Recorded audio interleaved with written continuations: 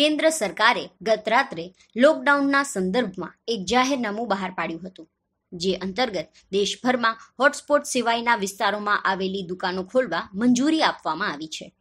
બજારો તથા shopping mall, shopping complex બંધ જ રહેશે. આ જાહેરનામા પછી દુકાનધારકો દુકાનો ખોલવા ઉત્સુક થયા હતા.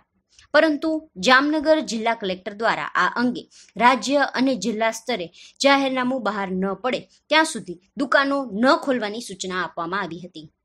રાજ્ય સરકારે બપોરે રાજ્યમાં હોટસ્પોટ સિવાયના વિસ્તારોમાં દુકાનો ખોલવાની શરતી મંજૂરી આપી છે, જેમાં પચાસ ટકા સ્ટાફનો ઉપયોગ તથા સોશિયલ ડિસ્ટન્સિંગ વગેરે નિયમોનું પાલન કરવાનું રહેશે.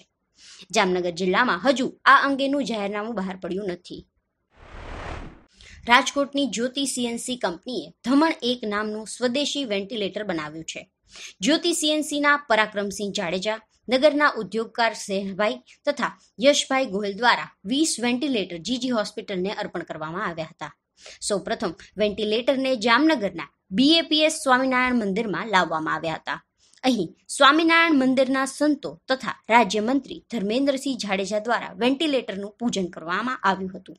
આ તકે commissioner Satish Patel, chamber commerce પ્રમુખ ભૂપેન્દ્રસિંહ જાડેજા, સ્વામિનારાયણ મંદિરના કોઠારી ધર્મનિધિ સ્વામી વગેરે ઉપસ્થિત રહ્યા હતા. પૂજન પછી વેન્ટિલેટર જીજી હોસ્પિટલમાં કાર્યરત સ્પેશિયલ કોવિડ નાઇન્ટીન હોસ્પિટલને અર્પણ કરવામાં આવ્યા હતા. આ પ્રસંગે રાજ્યમંત્રી હકુભા, સાંસદ Poonamben Madam, collector Ravishankar, hospital superintendent doctor Nandini Bahari શહેર ભાજપ પ્રમુખ હસમુખભાઈ હિંડોચા વગેરે ઉપસ્થિત રહ્યા હતા.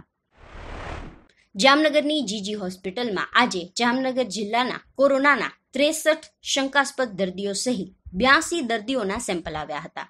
જે પૈકી જામનગર જિલ્લાના ત્રેસઠ, પોરબંદર જિલ્લાના બાર, દ્વારકા જિલ્લાના પાંચ તથા મોરબી જિલ્લાના બે સહિત તમામ બ્યાસી દર્દીઓના રિપોર્ટ કોરોના નેગેટિવ આવ્યા છે. લોકડાઉન દરમિયાન વિવિધ શહેરોમાં શાક માર્કેટમાં ભીડ થઈ જવાની ઘટનાઓ સામે આવી છે. જામનગરના વહીવટી તંત્રે આ ભયસ્થાનને દૂર કરવા શાક માર્કેટમાં ખાસ વ્યવસ્થા કરી છે.